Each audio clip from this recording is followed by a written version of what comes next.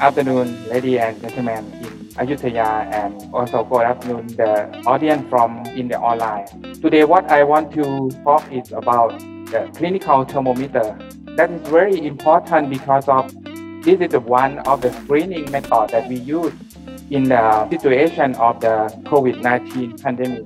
As we know, that is the temperature measurement is one of the screening methods that we use for screening the people in the to access in many area or I, think all area now in, in the world for prevent the possibility that uh, these people get COVID-19 or get a or something like that. But what we see in this uh, last two years about the method that they use for the temperature screening is quite, what to say, very variety and some method it impressed me so much. As I work in the radiation thermometry before, so something that they use to measure the temperature is so uh, correctly in my opinion. So that you can see from this picture that I show you. This picture, they use the industrial infrared radiation thermometer to measure the temperature of the human. Or in this method to measurement that you can see this uh, temperature measurement outside many buildings, outside many shops and they use also both uh, the forehead or the hand the question is, if that makes sense to do that. The temperature that they measure is the correctly temperature that corresponds to the temperature of this human. So this question is the big question in the people who working in, in, in metrology. Because of in metrology, we not just only measure, but we measure if the measurement result must be correct also. So that that's why we should be concerned about this. But you know, we cannot order many uh, organized in Thailand to do or do something like that, do something like that, and that is correctly. But we can just only give them uh, information. Like uh, today, that I want to, to give this information to the audience. What is makes sense for measure the temperature by using the clinical thermometer. Not only using, but the accuracy is also important. So as we know that the temperature, we can measure the temperature by heat transfer. But uh, you know, for the heat transfer, there are three types of heat transfer. Conduction, convection, and radiation. Conduction and convection need the media for the heat transfer. The conduction needs a solid for the media, solid media for the heat transfer, but uh, convection use the fluid for the heat transfer. But you know, like a radiation, they don't no need any media for the heat transfer. So from this phenomenon, we can like a separate the temperature or the thermometer into types. One is a contact thermometer. This type of the thermometer needs a media because they say that it's a contact thermometer. So that means it should be contact with the uh, object that they want to measure.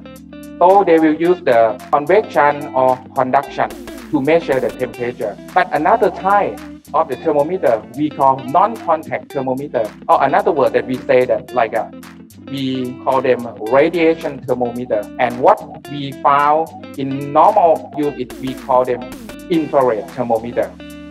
Why they call infrared thermometer? Because of the wavelength that they measure is in infrared regions. So that's why they call infrared thermometer. And of course, it is a non-contact thermometer. And I will call this type of thermometer like a radiation thermometer. And the thermometer has a, we can separate also the contact thermometer in about three types due to the function that they use, like a mechanical thermometer. Mechanical thermometer is mean this thermometer will use the uh, phenomena like, like a when the temperature is changing, the physical property of the thermometer is changed, like uh, the bimetallic thermometer that there will some pin of the metallic or the liquid in glass thermometer, which is the size of the mercury inside the thermometer, will expand when the temperature is changing or something like this. Another thing is uh, thermoresistive. The thermoresistive is the thermometer that use the resistance and they say that when the temperature change, the resistance of the thermometer is also change. That we can find in many many thermometer that used in industrial like a RTD or something like this or platinum resistant thermometer or the thermistor and the last one is the thermojunctive thermojunctive is the they use like a, the the voltage from the junction is changed when the temperature is changed this type of thermometer we can found like a thermocouple and for the radiation thermometer, you can see many types of radiation thermometer in the world, like a thermal imaging camera, like a infrared thermometer, like a fiber optic pyrometer. And of course, this one is the two type of the clinical thermometer. This is the in-ear thermometer. This is the forehead thermometer that you can find very, very uh, commonly in, uh, today. And if we scope to be a clinical thermometer, that is the example of the clinical thermometer that I show you. Like uh, the first one is the, the old type of the clinical thermometer that we can find for more than 100 years. Like uh, we call mercury in glass thermometer. That it is a mechanical thermometer that I said before this. Inside of the thermometer, we have a liquid. Another word to say it like mercury inside and the mercury will uh, expand when the temperature is changed. Another thing that, uh, that is like an alternative thing is like a digital thermometer that in many hospitals used to measure the temperature of the uh, patient.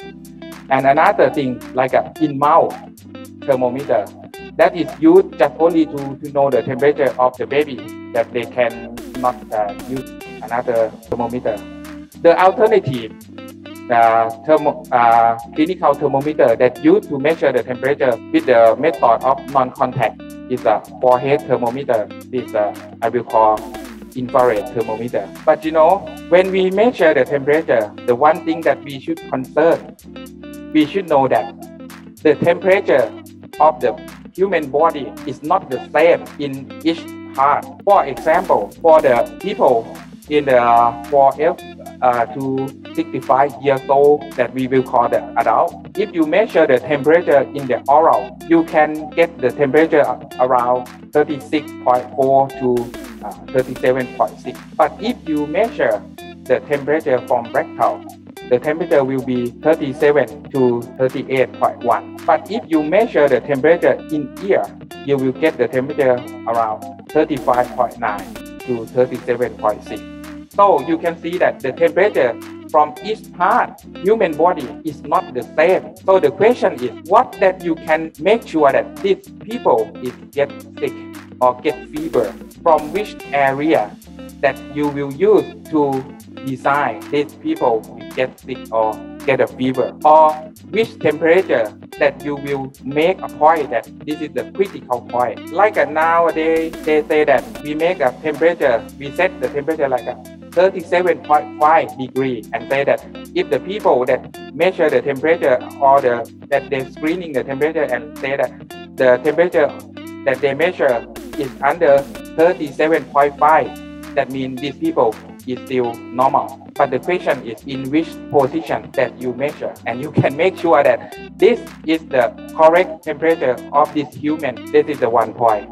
So i make some uh, youtube and i try some experiment. If you uh, want to, to know that I make an experiment how to use the infrared thermometer, how to use the forehead thermometer and in-ear thermometer, how different of it. You can go to the YouTube channel from NIMT, Training NIMT and you see these three clips and then you will un understand more. Of course, it's in Thai, but uh, you can understand because in the clip that I, I already showed that I use the forehead thermometer and ear thermometer. If you go like this, go to YouTube like this. Ah, it's not, you cannot see. And then you will find that the temperature that you measure by using the forehead thermometer is different from the temperature that you measure from the ear thermometer. Why we like that? Because of ear thermometer measure the temperature of the temperature of the temperature inside the ear, while the forehead thermometer measure the temperature of the skin. And you know, if you see in the picture, you see that like a, the temperature of the skin of the skin is different from the temperature inside the body. So the temperature inside the body we call core temperature, and that is the correctly temperature that represents temperature of human body. The next question is how to measure the core temperature correctly. Actually, they say that there, many many papers uh, uh, say that there are many methods to measure the correctly temperature of the core temperature. But you know, the way that can measure more convenient and give the result that close to the core temperature of the human body is to use the ear thermometer, for example, or measure from the rectum. That you can get the temperature that closely to the, the core temperature. And you know, if you see this picture, if you measure the temperature from the forehead, the temperature is maybe just only 35 degree or 34 degree. Even these people get sick, you will not measure the temperature higher than 37.5 if you measure from the forehead with the directly measurement from the thermometer. So with this problem, that's why for the clinical thermometer, they should have some another mode. In, in the clinical thermometer, there has two modes for measurement. First is the clinical accuracy. The clinical accuracy mode is like a, this will tell that what is the accuracy of the thermometer, which it has some special function to correct the temperature to make sure that the temperature that you measure from many places of uh, many uh, different area of the of the human body should be the same temperature. And another is uh, the direct mode. The direct mode is the mode that measure just directly from the, the from the from the object that they measure. For example, like uh, when they measure the, the forehead, the temperature forehead, the temperature that they that they give is the real temperature from the forehead, not the temperature that was correct was corrected to be the temperature to be uh, uh, uh, the temperature to represent the temperature of the human body. So that's why you can when you use the clinical thermometer, for example, like a forehead thermometer, you can see the mode of the thermometer for two modes, like a body mode and surface mode. If you want to measure, if you use the surface mode, that means you should measure, you should use this mode to measure the temperature of the object directly, and you will know the temperature of the object directly. But if you use the body mode, that means you are measuring the temperature and it has some corrected function to correct the temperature that you measure to be the temperature rep that represent the temperature of the of the human body. This mode is different from the manufacturer. Some manufacturer use the function that correct the temperature from, for example, forehead with the temperature in the oral. Some company use to correct the temperature from forehead with the temperature from in ear. In the laboratory, we will not know which function that the manufacturer use. So it is very difficult to make a, how to say, calibration or verify with the clinical mode or the body mode because of we don't know this function from the manufacturer.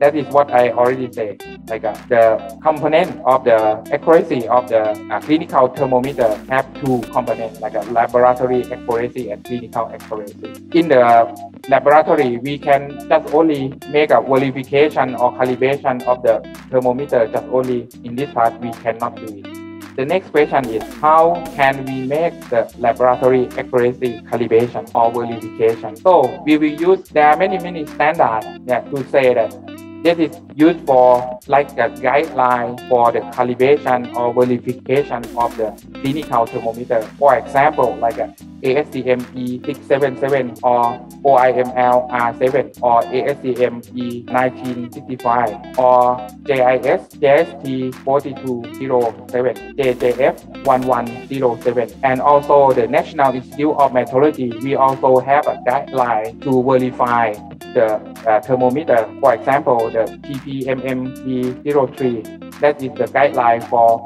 uh, verify the infrared ear thermometer and TPMMP 0564 is the guideline for verify the clinical uh, thermometer. So this you can find in the internet and you can use it. For the mercury in glass thermometer, we will use the ASTM E67798 to be the guideline qualify the, the thermometer. And they will have that the temperature range that they use for this is just only uh, 35.5 to uh, 41 for ASTM and 35.5 to 42 for OIM. And they say that the scale, the resolution should be only 0.1 degree and they should have some special are marking to show that the uh, scaling of 37 degree. And this is the per maximum per permissible error that they can accept in the range in, in, in each range of the thermometer. Like uh, if you use this thermometer, for example, if you use this thermometer at the 37 to 39, maximum permissible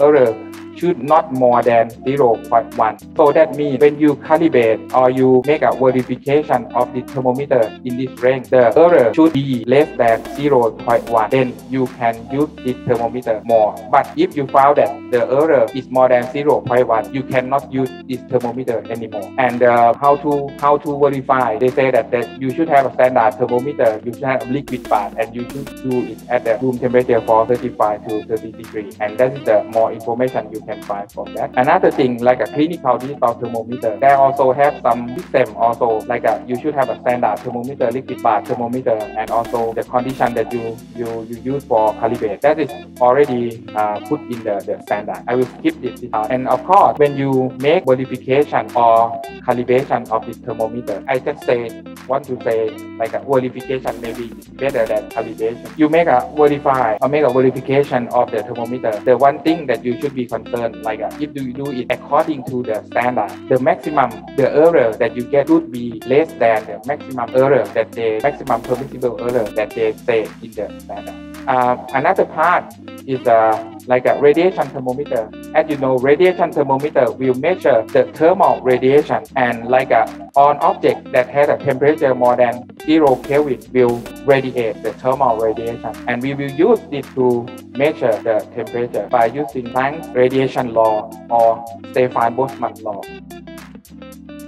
And this is the maximum permissible error from many types of the thermometer, uh, radiation thermometer nowadays. Uh, this from NIM, China. Like uh, for the ear thermometer, the maximum permissible error should less than 0.2 degree. For the forehead thermometer, should less than 0.3 degree. And for the thermal radiation, uh, thermal image, thermal image in camera should less than 0.4 degree. And uh, I will skip this part. So one thing that's very important is if you use this to measure the temperature How can you know that you measure or use it correctly? You see from this picture. The first picture is totally cor- not correct. Why? Because you use the industrial infrared thermometer to measure the human body.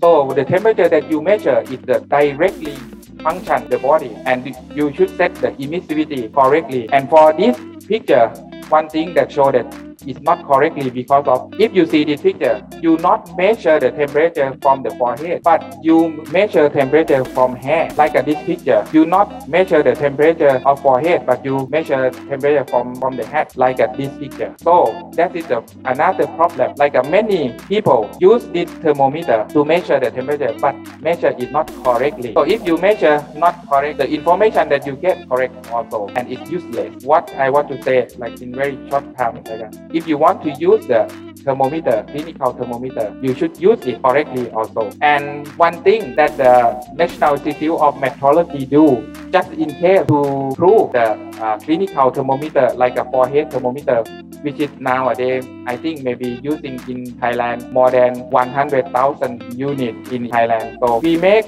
something that we call infrared thermometer tester. This is the function that like uh, we make some target source and we use the standard cavity that we know the emissivity.